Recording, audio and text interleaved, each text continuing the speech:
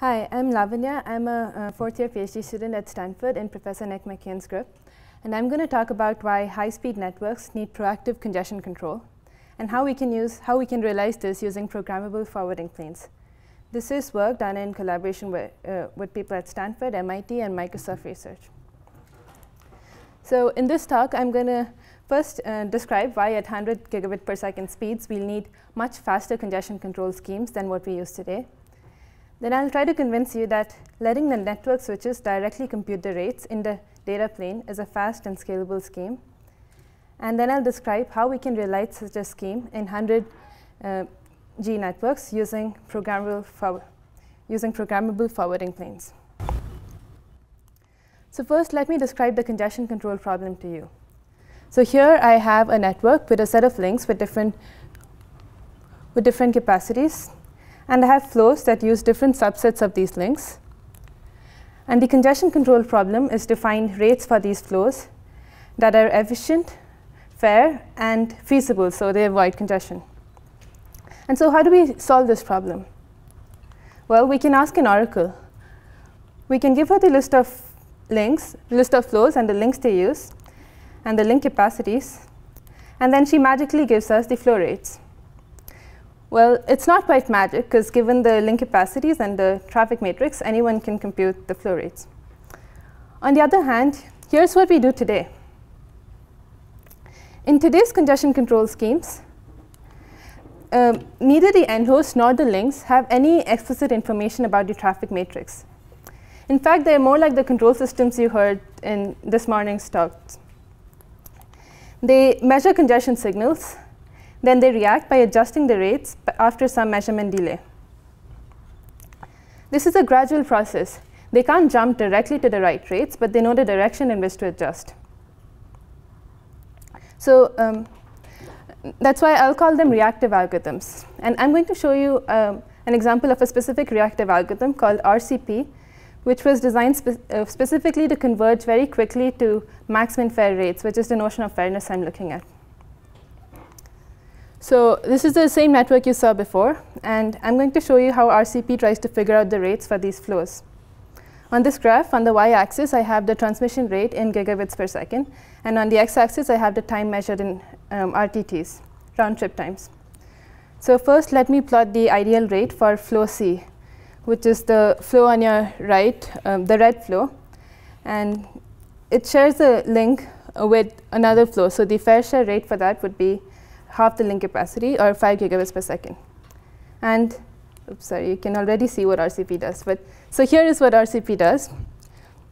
You can see that initially it overshoots a bit, probably because it didn't. So I should give you some context for how RCP works. So um, in RCP, the switches basically measure the input traffic rate and the queuing, and then um, adjust the rate that they advertise to the end host, and the end host will pick the minimum rate that they hear from the switches to send at. So here you can see the rate advertised by the switch, by the link to the end host, and you can see that initially it kind of overshoots because maybe it didn't detect a lot of input traffic, and then it undershoots, and gradually it gets to the correct rate. And let me plot the rates for the other flows. You can see that they're similar. They are basically all over the place, and it takes 30 round trip times for these rates to finally converge. And this behavior is very typical of all traditional congestion control schemes, be it TCP, XCP, or DC-TCP. While it's cool that they don't need any explicit information to figure out these rates, if you step back, it's, you start to wonder, why do they take 30 round trip times to figure out just a few rates? Why can't they be like the Oracle, like maybe one RTT? And as link speeds get faster, this problem will only get worse. Uh, today's typical link speeds are 10 or 40 gigabits per second. But if we move to 100 gigabits per second, a typical flow in a search workload will only last 7 RTTs. And in that case, we can't wait 30 round trip times for the schemes to figure out the rates. So um, yeah, at 100 G speeds, um, this problem of convergence time is even more important. And a typical flow will finish in less than 7 round trip times.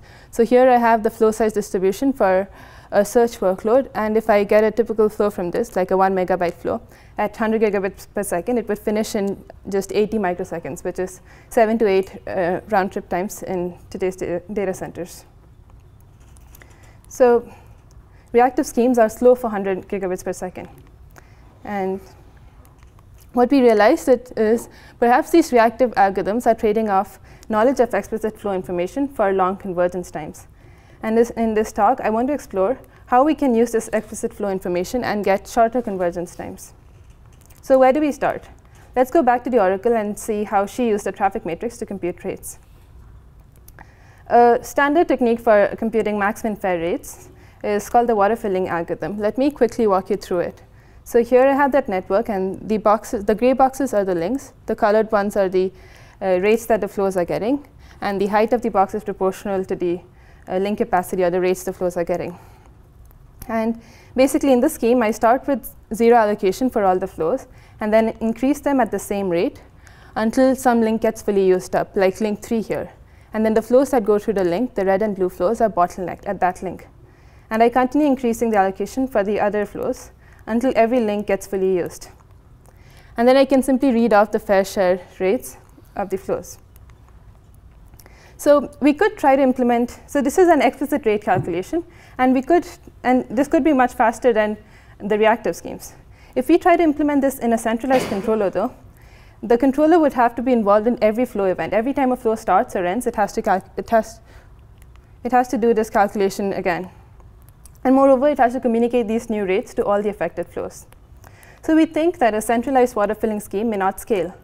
And um, so in this talk, I'm going to I'm going to um, think about how we can let the network figure out the rates in a distributed fashion using programmable forwarding planes or stateful data planes, as you'll see.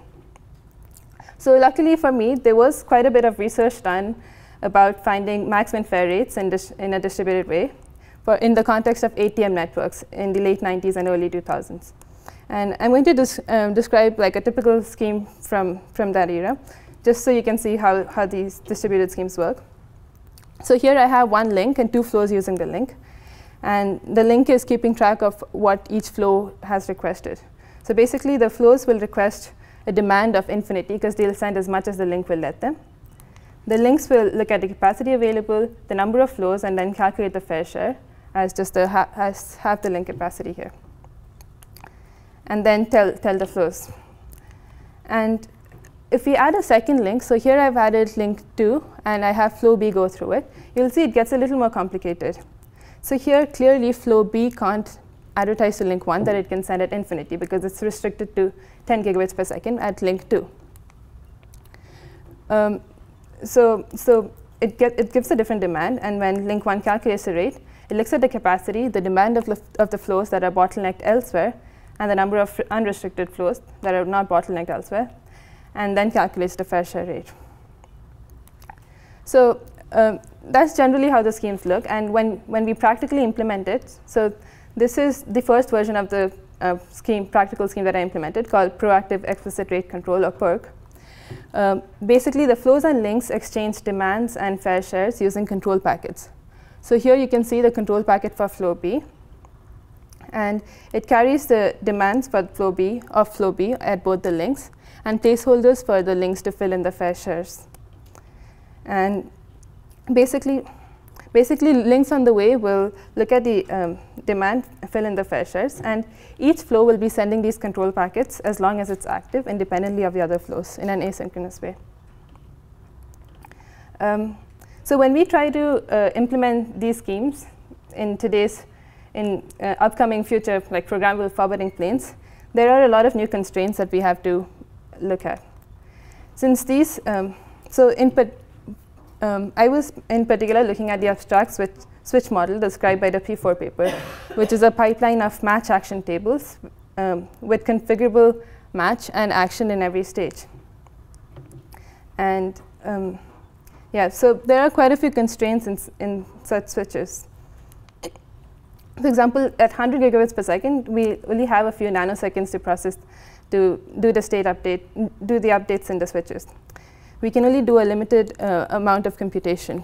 For example, not only do the actions have to complete in a few nanoseconds, they have to be made up of the primitive actions that are supported by the switch, which might be something very simple like addition and compare, probably not division.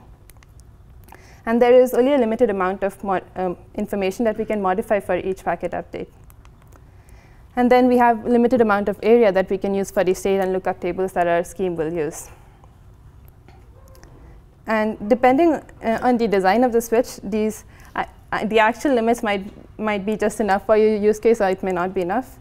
Uh, but these are different things that you have to keep in mind when designing for programmable forwarding planes. And so as a first step to realize this, um, we wrote up a version of um, PERC in using P4, and then compiled it to a NetFPGA using tools from Xilinx. And note that this uh, P4 program used the most basic version of P4.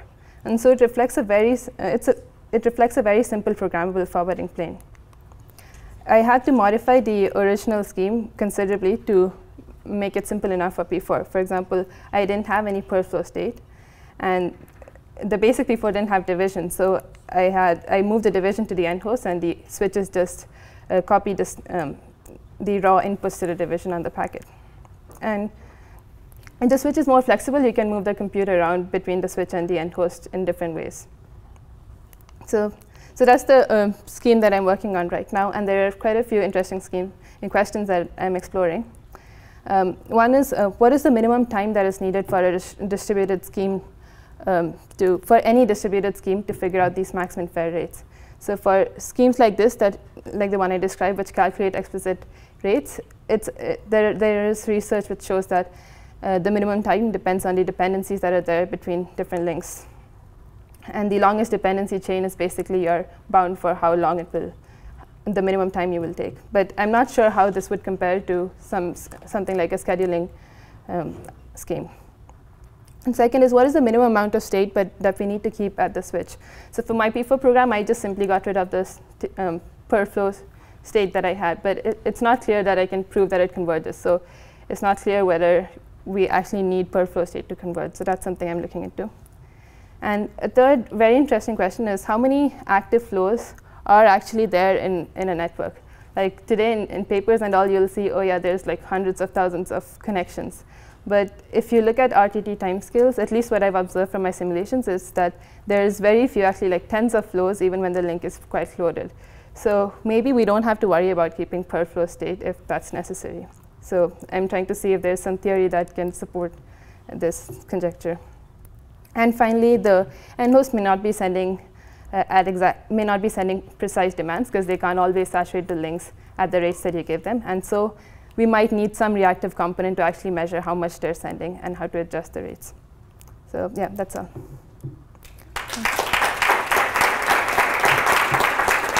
Questions? Yeah. So I have a somewhat naive question.